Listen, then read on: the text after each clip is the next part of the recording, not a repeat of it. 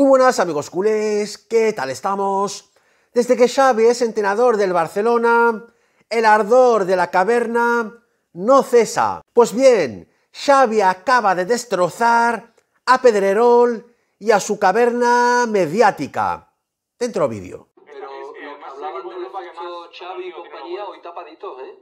No, Los que hablaban del efecto Xavi y tal, hoy tapaditos. No. Porque este Barcelona, con independencia de, de la pegada de seis veces, seis remates a puerta, cuatro goles y Aubameyang, este Barça empieza a tener automatismo ya... ¿Tapaditos quién es? ¿El qué? ¿Tapaditos quién es? Tapaditos los que, ha- los que habéis hablado. pero qué te pasa, Cris- a ti. pero Cristóbal, Claro, yo los que habéis hablado, te incluyo a ti, pero- claro, te incluyo a ti. Sí, te incluyo a ti, Ahora- ahora puedes incluyo a... Que no, que yo decía que no. no, no. No, Xavi no existía. Bueno, no, por ha habido te nunca. digo, pues por eso te Digo no. Por eso te digo. Yo digo el efecto Aquí fichajes. hemos hecho programas hablando solo y eh, exclusivamente del efecto Xavi. Yo- y yo te he escuchado a ti en un editorial que no estuviste precisamente acertado hablando de que el efecto Xavi no existía. Exacto. Anda, exacto. Pues por eso te digo no, que no se han hablado del efecto ha existido. Xavi. Muy fácil no rebatirle. han hablado del Lleva efecto Xavi. 107 días en el Barça. Tapadito. El efecto Xavi. Si los fichajes, No, que se le pone Xavi, Xavi. yo sé que se le pone El Xavi. efecto- No, el efecto Mateo Alemania la porta. pero... No, El